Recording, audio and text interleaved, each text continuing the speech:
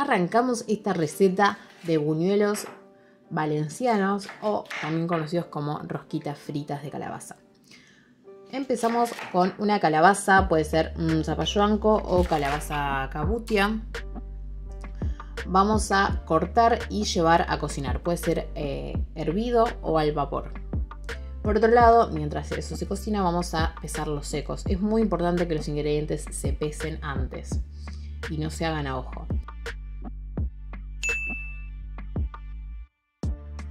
50 gramos de harina de arroz, 50 gramos de almidón de maíz, o más conocido como maicena, 5 gramos de goma sántica. Acá yo no le agregué ni sal ni azúcar, pero es opcional, para mí no fue necesario.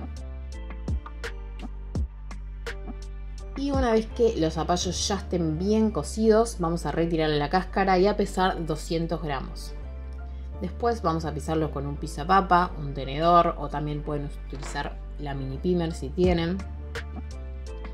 Y una vez que el puré esté tibio y no caliente, es muy importante, recién ahí tiran la levadura seca, que también pueden usar levadura fresca.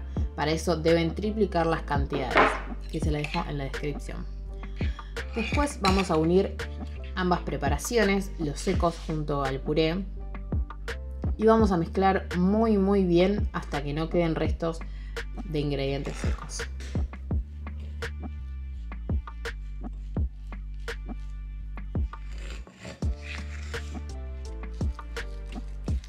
Una vez que esté así, lo vamos a dejar reposar en un lugar cálido lo posible hasta que duplique su tamaño, más o menos una hora. Debe estar tapado, pues con film o con alguna tela que tengan limpia. Una vez que esté así, más grande, vamos a poner a calentar aceite para freírlos después. Con las manos bien mojadas vamos a empezar a armar las rosquitas. Recomiendo que no sean tan grandes para evitar que queden crudas en el centro.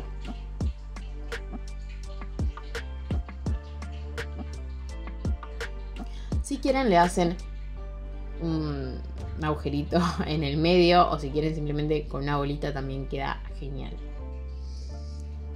Una vez que el aceite esté caliente, pero no demasiado caliente, como un punto intermedio, vamos a llevarlo a freír hasta que esté dorados de ambos lados. Si quieren se pueden ayudar con el mango de una cuchara o algún palito de madera en el centro para que no se le cierre el agujerito. Una vez que está cocido lo llevamos a unas servilletas para que termine de absorber todo el aceite.